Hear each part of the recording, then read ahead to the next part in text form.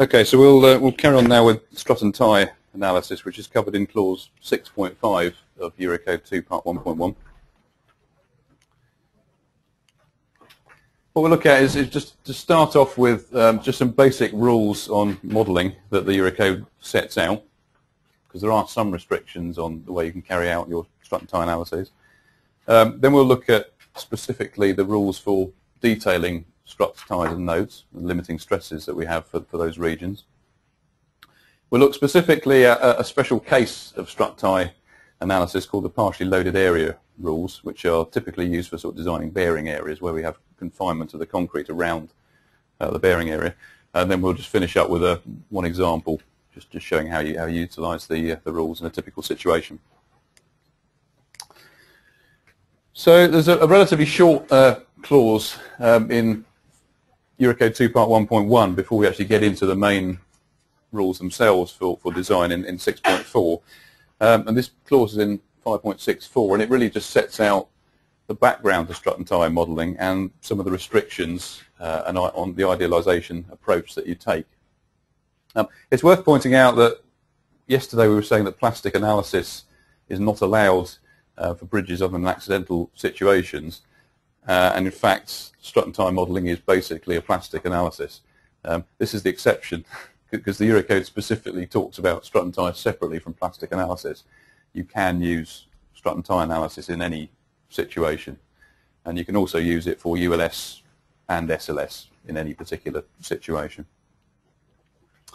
Um, there are some situations where you have really no choice other than to use strut and tie analysis um, in the Eurocodes.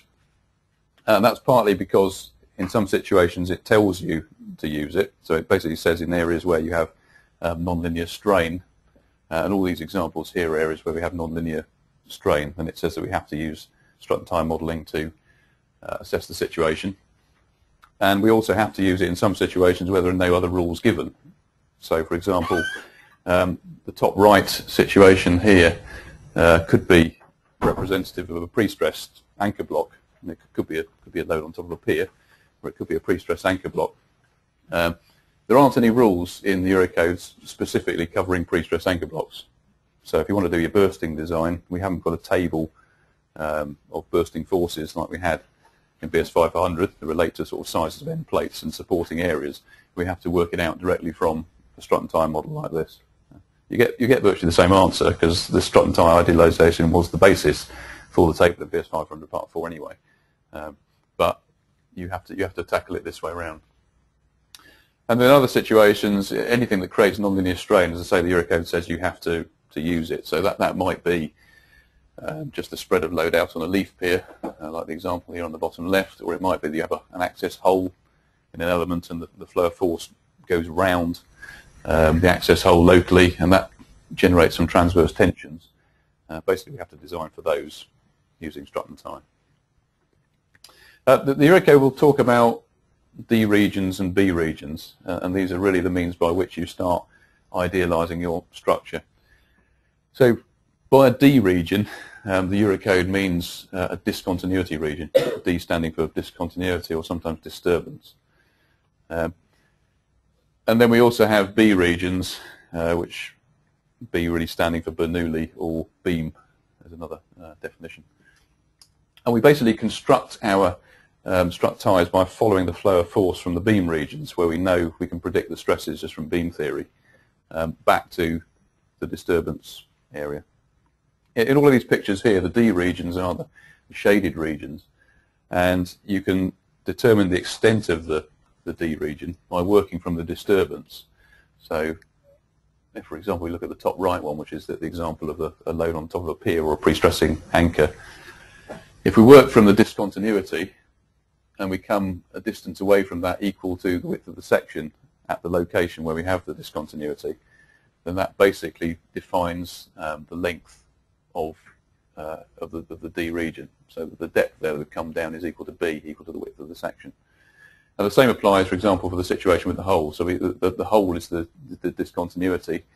Um, the section width uh, at the location of the hole is, is width b, and if we come a dimension longitudinally b away, then that defines the end of the uh, uh, of the d region, and we're back into um, we're back into beam uh, theory So a sort of simple example of how you construct a model uh, might be the case here on the right. So this, again, this, this could be the load on a on a eccentric load on a pre-stress anchor block, or it might be just, a, again, a load on the edge of a pier.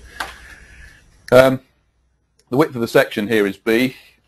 So if we come a distance away from the load equal to B, then that basically takes us into the beam region.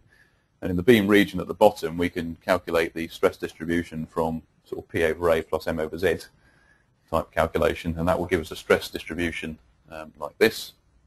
So we've basically got two triangular areas. One, one is a compression area, one's a tension area.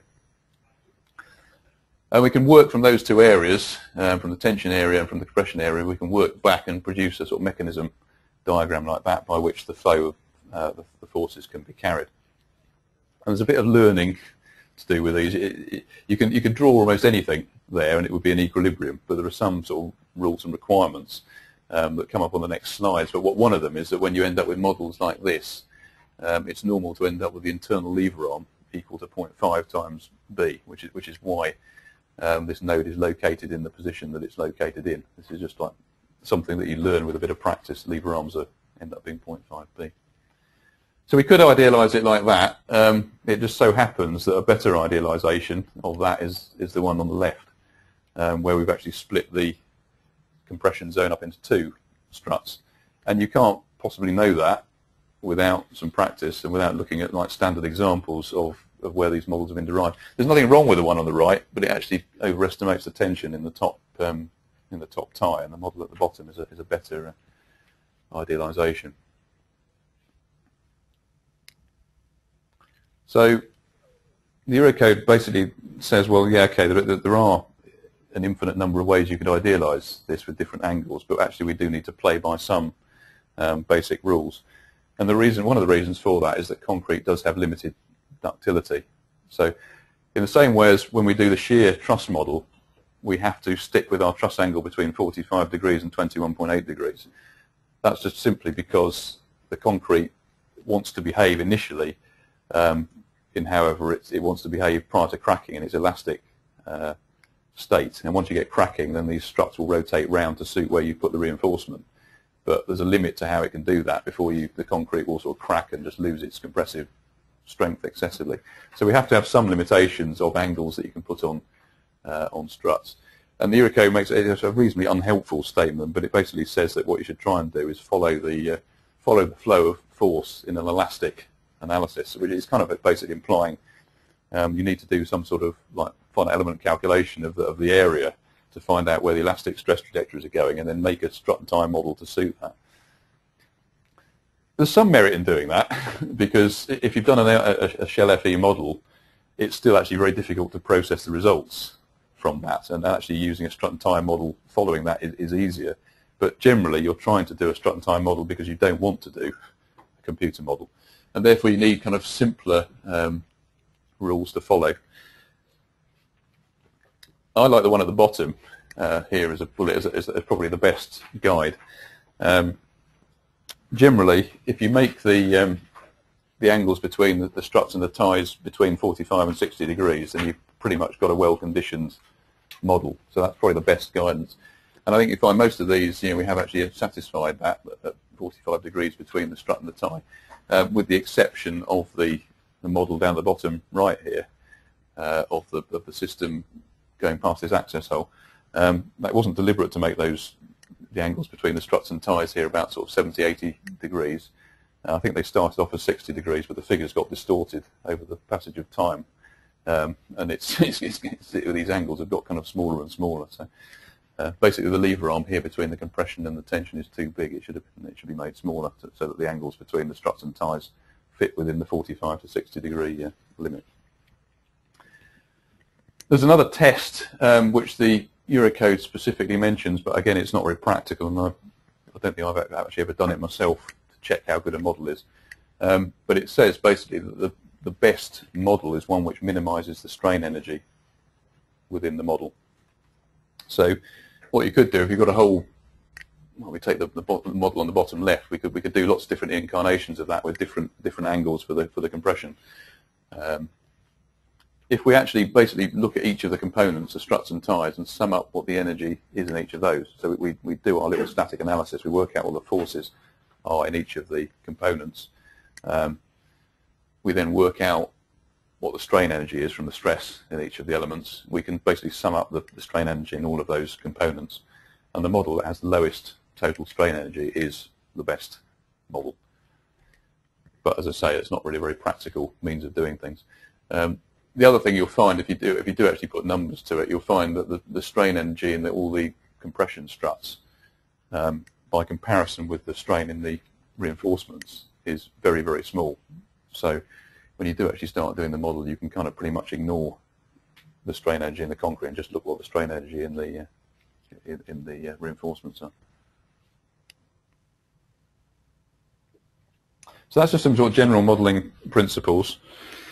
Um, strut and tie is nothing new. People have been doing strut and tie for ages, for years. But I think what, what, what we haven't been doing in industry is doing it consistently. So we've all, we've all done our models and we've all sort of checked struts uh, and ties and nodes to stress limits that we've just kind of made up or we've found from a textbook or something or you know, but we've all done things kind of differently, sometimes safe and sometimes unsafe. So what, what the Eurocode does add to all of this, apart from a bit of general information on how to go about modelling things, is some specific limits that we have to work to when we're designing the struts and the ties and the nodes. And starting off with um, struts, there are basically two limits that the code uh, gives you. The top limit is really intended for situations where you've, you've just got pure compression in an element and you've either got no transverse tension at all or you might even have some beneficial transverse clamping compression. And in that situation, the stress limit for the strut is basically FCD, which is the same as the stress limit that you have for designing beams for flexure. If you remember back to yesterday, um, FCD has in it a definition, or, or it has it, as its definition alpha cc times FCK divided by gamma. Um, the Eurocode itself says alpha cc is 1 for shear and 0.85 for bending and compression. Um, and it doesn't tell you what it is in a whole range of other situations, and that's the recommended value. So the, Euro, the, the UK National Annex uh, actually tells you what to use in each situation. Because we want compatibility in this case here with beam design, then we have to use alpha CC as 0.85 because that's what we have to use for when designing beams for bending and axial force. The second um, strut limit is basically intended for uh, struts which are in compression but which have some transverse tension. And that can be a transverse tension that's actually physically applied through the reinforcement. Or it might be a transverse tension that just arises because the strut itself is trying to expand out sideways and creates its own tension. So a good example of this sort of situation is actually going back again to the shear truss model. When, when, when we're uh, when we're working out what VRD max is for a section, what we're effectively doing is checking crushing of the diagonal struts. And when we're checking crushing of those diagonal struts, we have to bear in mind that we have shear reinforcement passing through the struts, which are actually tending to rip the strut apart.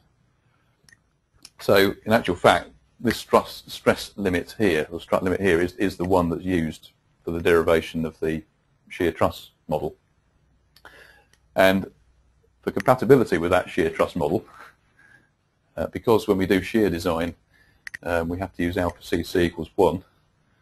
When we're checking this strut limit, we have to have alpha cc equals 1 in the definition of SRD max. So you can already see this is getting messy and confusing. We're talking about the same thing here, strut and tie analysis, and we've got a different value of alpha cc and two strut limits. Um, it's not really ideal, but that's, that's the reason why it comes about. We have to do that to maintain compatibility. Otherwise, if we try and work out the shear resistance of, a, of something from first principles using a strut and tie model, we'll get a different answer um, to what we have from the code rule. This second limit is um, it's it's a bit uh, conservative. It, although although it's shown there with with an orthogonal tension, um, the worst case is actually not orthogonal tension like that, but actually skew tension because then the compression has to pass across cracks which are skewed. Um, if the cracks actually run parallel to the compression strut, it's not so bad. Situation. So if you really do truly have this situation of tension applied orthogonally to the, the compressive strut, then this stress, stress limit is a bit conservative. And the Eurocode says you can do something else that's less conservative, but it doesn't tell you what. So basically you can't really, unless you go, go off do some research or find some textbooks. Um, ties are pretty straightforward. Um, a tie can be a piece of reinforcement or it can be a piece of pre-stressing steel. Um, because we can design to uh, or use strut and tie analysis for ULS and SLS, when we're coming to check our limiting stresses in the in the ties, then it obviously depends on what limit state we're checking. So at the ultimate limit state, we can just work the steel up to its full yield strength. Um, if we're using this method of calculation for serviceability, then we will need to work it to a lower stress corresponding to the crack width that we're allowed.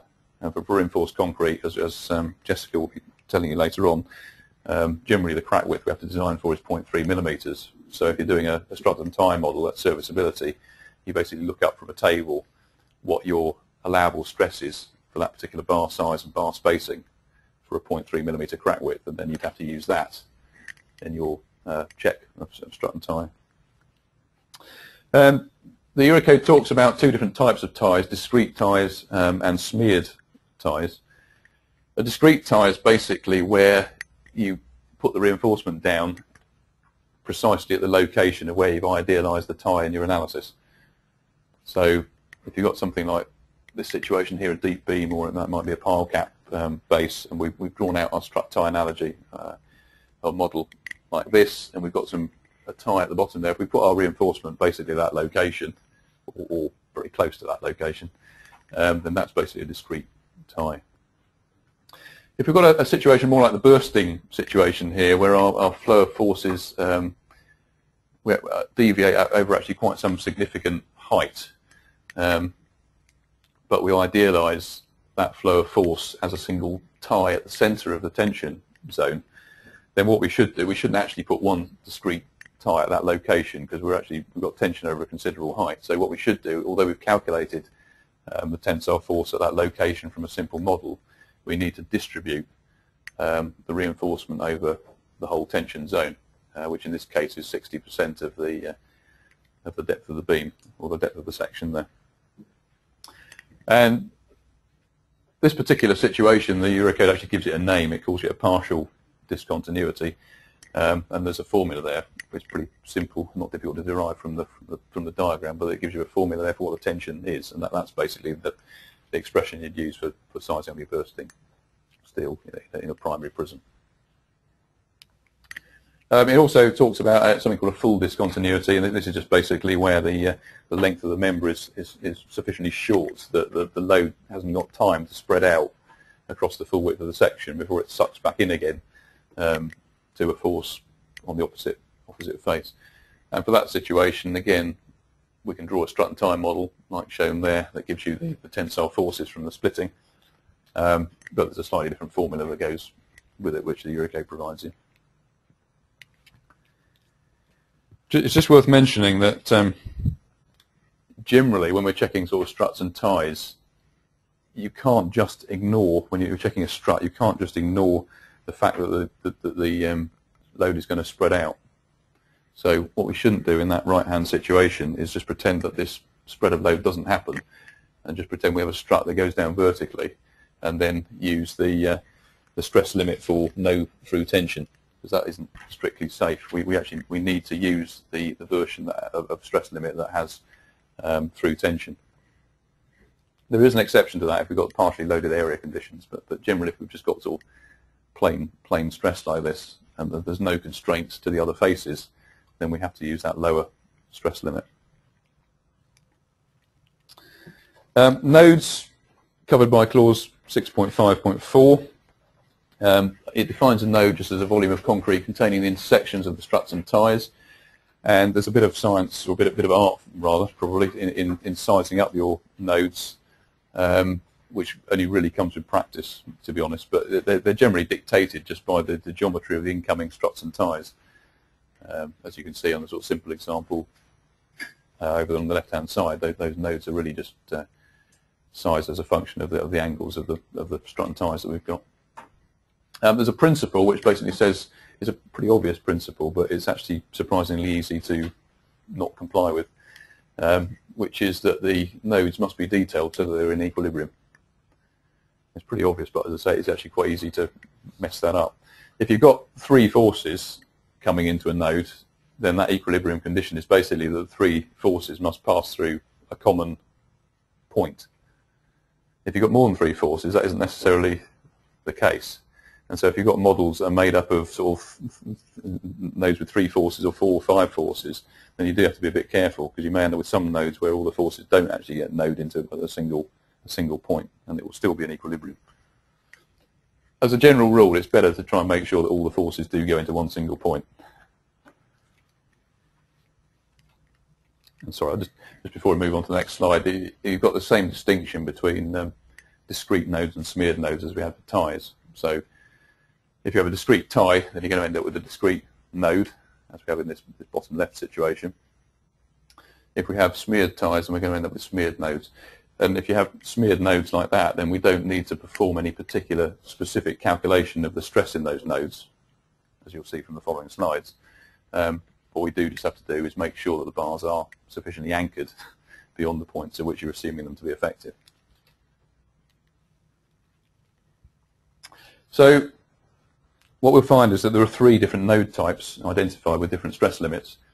And the stress limit depends on how much transverse tension we've got passing through the node, weakening the concrete. So the first type of node that the, the, uh, the defines is a, is a CCC node, where C stands for compression. So this is basically the, the example at the top here is compression, compression, and compression coming into one single node.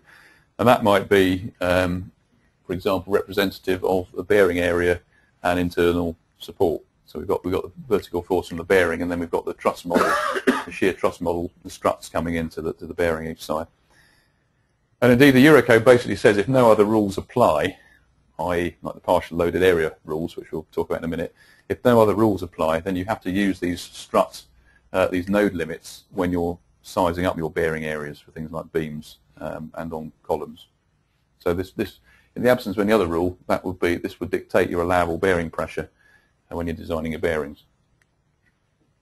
Um, I mean, this, this, also could be representative of a, of a, a corner uh, joint like we've got at the bottom here uh, under closing moment.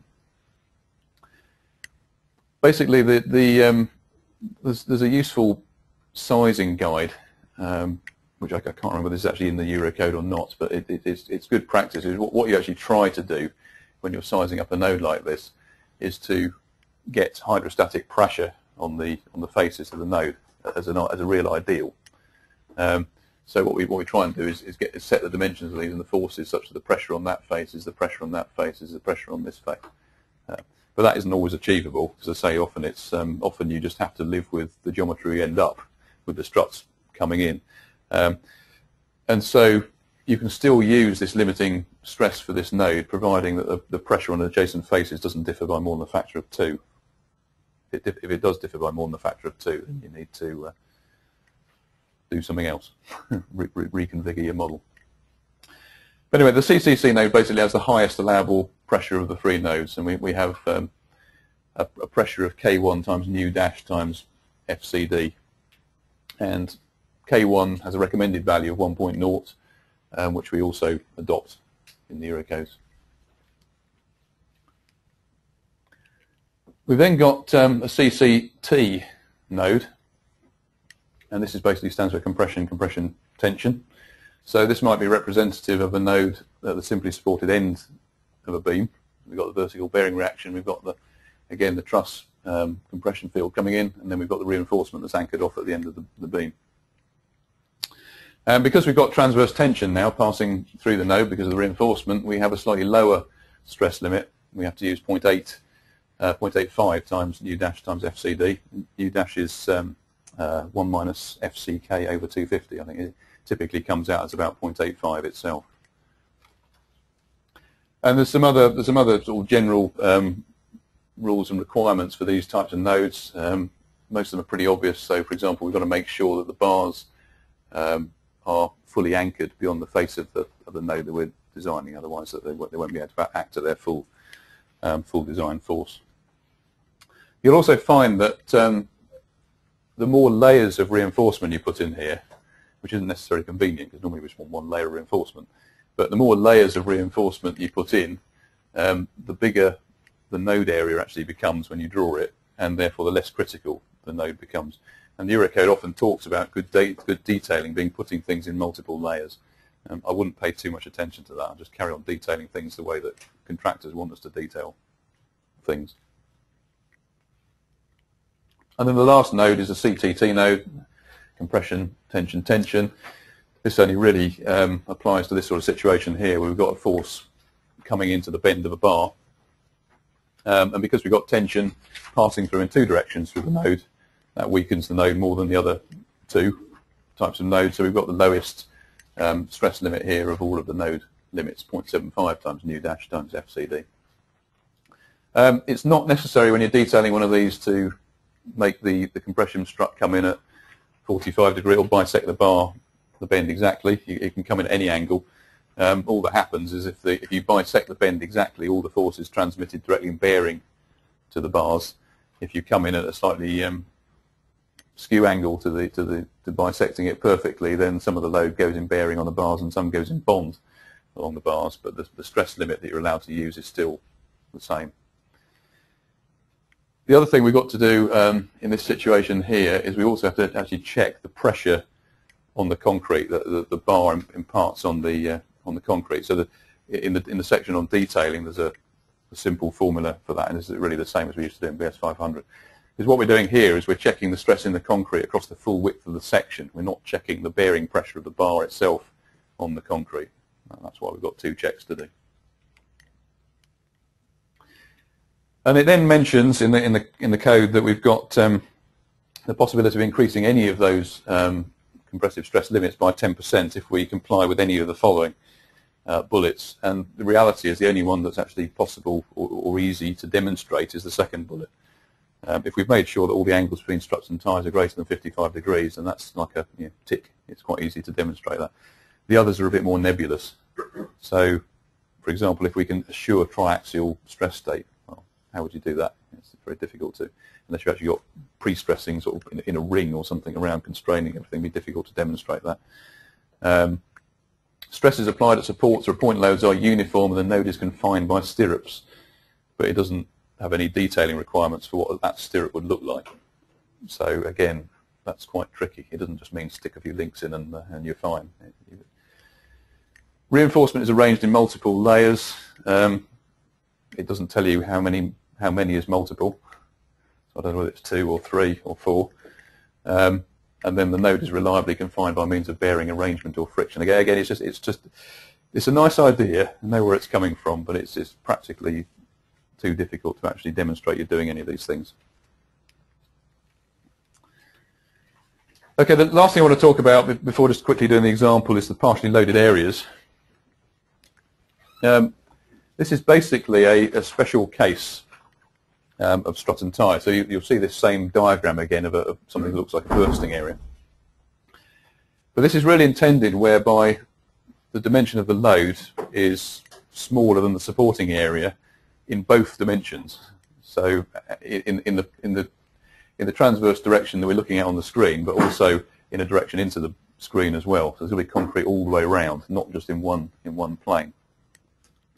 And in those situations, the code tells us that we have to check crushing of the concrete in the area right under the supporting load and also then bursting further away from the, from the support.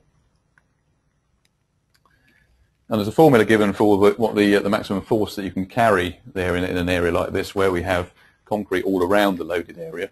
And it's, it's the one here. It's FRDU is equal to uh, AC naught, which is the, the loaded area, times FCD, times um, root of the ratio AC1, which is the supporting area, divided by AC naught. And the supporting area is supposed to have the same shape as the, the loaded area.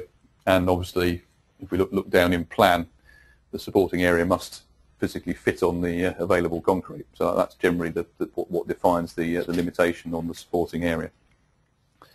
And if we do that, we can we can get an enhanced bearing uh, pressure way, way, above FCD, but we mustn't take it greater than three times um, FCD.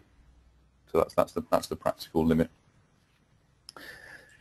What's actually happening in this? The reason we're able to, to generate these higher um, pressures is that if we have concrete all around the supporting area, as we as we press down on the concrete, the concrete tries to expand and it tries to expand against a ring of concrete acting all the way around the loaded area. And that concrete can provide basically containment until you stress it so hard that you reach its cracking strength. So the, the derivation of this, I wouldn't say it works perfectly, um, but the, the, the, the, theory behind this is that you look at, um, for these different geometries, you look at the annulus of concrete around the loaded area, you work out its tensile capacity acting in, in sort of ring tension, and then you can work out what confining stress that applies to the concrete. Right at the start of Eurocode 2, there is um, a section in, in section 3 which tells you how the strength of the concrete is enhanced by varying amounts of transverse confinement pressure. So effectively you then you're effectively then going back to that section, working out what the confining pressure from the from the tensile concrete surrounding the loaded area is, and enhancing the the, the vertical resistance that you can have up to a limit of three times FCD. If you were to um, if you were to dispense with, with considering the tensile strength of the concrete and you actually put pre-stressing in a ring around the loaded area, then you could go up to pretty much, I wouldn't say any, any value you like, because you get at some point you'll end up with a sort of failure wedge mechanism, which isn't covered by these rules. But you, you could end up generating greater confinement pressures and therefore greater vertical forces. So if you use this, as long as you've got concrete surrounding you in your bearing areas, then you can get quite a lot higher pressures than you would do out of the other rules for nodes that we've been looking at. So we've got to we've got to uh, we've got to define we've got to design the the spalling region at the top, and that can give us much greater pressures. This, this, is essentially what manufacturers of pre-stressing anchors do when they have their, their end plates. This is this is basically the rules that they design. Um, that's how you get the very high pressures. But we've still got to check bursting ourselves in the zone away from the, the, from the anchor. And we can do that either by um, physically putting in bursting reinforcement, or the code does allow us to utilize the tensile strength of the concrete to resist the splitting forces as well. So coming back to this, this situation here where we, we idealize the, the expanding um, flow of structures as a transverse tension, and we, we can use the formula early on to work out what that, uh, that tensile force is. It's the expression here, a quarter uh, B minus A over B times F. We can either put intention for that, or, or we can actually check whether the concrete in this, this height of 0.6 B is able, working at its design tensile strength, to resist that splitting force. Uh, if we do that, then we, we get the formula at the bottom of the page here. F max is basically the maximum pressure applied at the loaded area.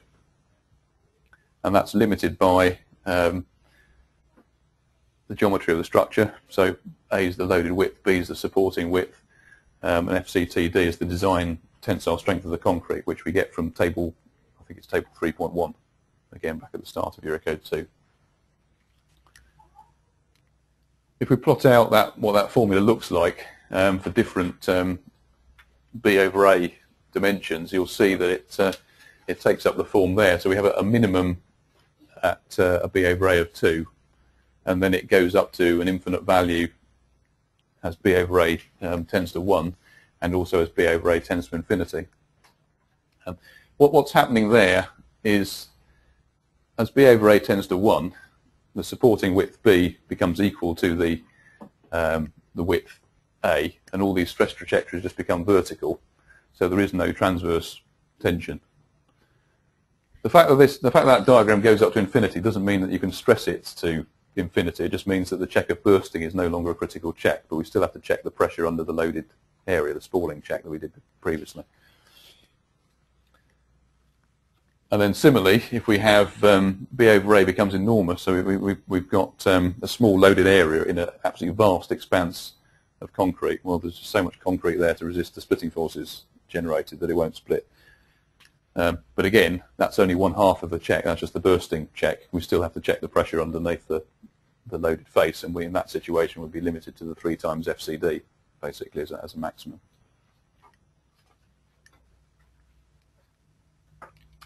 The last thing I'll mention, um, which is not really strut and tie, but it's um, it, it's it's kind of uh, it's kind of needed in the same cases, if you like, when you're analysing piers. Um, is something that's in Annex J of Eurocode 2 Part 2, and I, I, must confess that opinion is somewhat divided as to whether this is really necessary or is a real problem. Um, it doesn't seem to be particularly well supported by tests and is, is rather conservative, but it's a sliding um, wedge failure mechanism which the Eurocode requires you to consider, and this is really trying to pick up the situation of putting a bearing on a leaf pier too close to the edge. And what this is saying is if you've got a load um, on the edge of a section, um, then we have to look at a, a, wedge coming out with an angle theta, and theta is not a variable this time. Theta is fixed at 30 degrees. Um, that wedge basically defines the amount of horizontal reinforcement we have in, in that height, and we have to provide horizontal reinforcement such that we can carry over that height um, a force equal to half the bearing reaction. For new build, that doesn't seem to be much of a problem um, because normally the, the sort of reinforcement, provided you don't put this thing right on the edge of the, of the section, um, the, the, sort of reinforcement that you have to put in for early thermal cracking, typically sort of T20s at 150 or something like that, will be enough reinforcement to cater for this case. It's not so great for um, historic structures when you start assessing things, and th th this is one of the areas where the Eurocode gives you a problem because you might want to use the Eurocodes to use strut and tie on something, but then you have to sort of cherry pick because you don't want to do this. um, because you may well demonstrate that there's a, there's a problem in certain areas. So I don't particularly like this. I think if you can if you can if you can draw a strut and tie diagram out, um, whereby, for example, this uh, this top load is held in place at source by some heavy transverse reinforcement at the top, such that the load can't move sideways. To me, that is a perfectly acceptable solution. Um, but there's still some arguments about that. So at the moment, if we're doing new design, we're going to have to comply with this rule because that's what it says. Um, just to finish up um, on this one, just a, just a really quick sort of walkthrough example. Um, we used these rules, um, must be about eight, eight, years ago now, in their draft format when we were designing the Medway Bridge. Uh, because we had this situation here where with diaphragms at the supports, it's a, it's a two-cell box girder uh, sitting on two uh, piers, separate piers, and we had some rather large access doorways um, at the diaphragm, and that made it pretty much impossible to try and design it by beam theory. Uh, we did have a go initially, sort of designing as a plane frame, but you get all sorts of horrible Vierendeel type bending effects around the hole, and you end up just trying to stuff, stuff these areas up, up above and below um, the access holes with lots of links and things, and it was just a wrong solution. So we, we, stood back from the problem and used strut and tie analysis, which is after all now what the Eurocode is saying you should be doing. You shouldn't be trying to treat it as a beam. It doesn't behave that way. So this was the idealization we came up with. We had, we had um, we got the loads, basically the shear loads being suspended down from the webs uh, onto the bearings, and the, from the middle web we have to suspend load up on a tie over the doorway, and then back down on a compression strut to the uh, to the bearings. So the first thing we have to do is a statically determinate system. Um, for a particular load case, we had to analyze the, the section, and uh, from that we need to work out the forces in the struts A, B, and the tie C and D. And for the particular load case we were actually looking at, uh, although we've drawn the tie D here at the bottom as a tie, uh, it actually turns out to be in compression under this particular uh, load case. Um, I mean, in trying to work out why that's happening, it's actually useful to go back to pretending it's a beam. Uh, if it's a beam, we've basically got a beam on two supports. We've got a mid-span uh, load that's, that's generating a sagging moment, if you like, and then we've got two sort of cantilevering forces creating a hogging moment through the whole span, and it just happens in this load case that the hogging moment generated by those two outer forces is bigger than the sagging moment generated by the inner load, and hence the whole portion of, of, of tie D actually became in, in compression. So that was the overall um, that was the overall uh, idealization. We, we then um, split it up in, into a bit more detail to actually size the, the, the, the nodes um, themselves. We wouldn't normally draw these sort of struts bottling out like that. You just normally just draw them parallel, but they've just been drawn bottling out just to show that that's what's going to actually physically happen, um, which will then inform the decision of which strut limit to use because they're creating transverse tension by expanding outwards. So the first thing we have to do is, is check the, uh, the bearing pressure here. We've, we've used the CCC uh, node type to check the, the, bearing pressure at the bottom here. And the limiting stress for, for, for that is uh, K1 times nu dash times FCD. That gives us an allowable pressure of 19 megapascals on the bearings. And the actual stress, um, given the size of the bearing, was only 9 megapascals, so a lot smaller than the applied, than the allowable. Um, we then need to check strut A, coming out from the, from the bottom there. Um, we should do two checks, really. We, we should check the bottom of strut A as it actually comes into the node, and then we should check the remainder of the strut.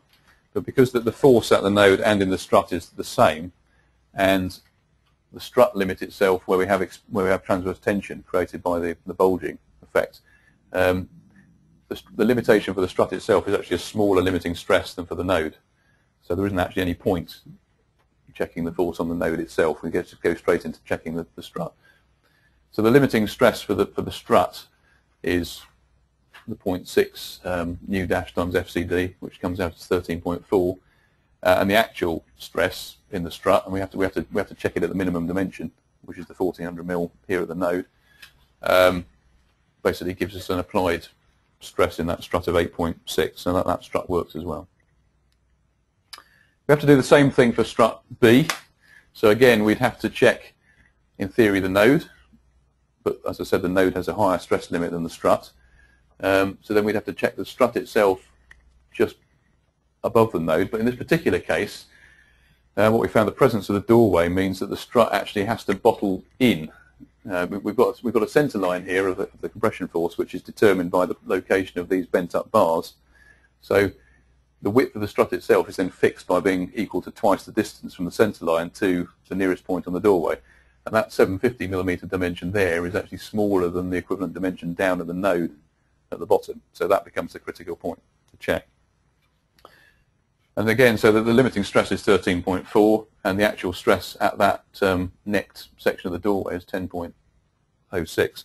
And as an aside um, here, we realised when we were starting drawing these diagrams out that it was incredibly sensitive to where you put that bend of the bar at the top to precisely what that dimension of the doorway was going to be which didn't feel overly comfortable when you're then relying on the contractor to fix things sort of precisely in the right location.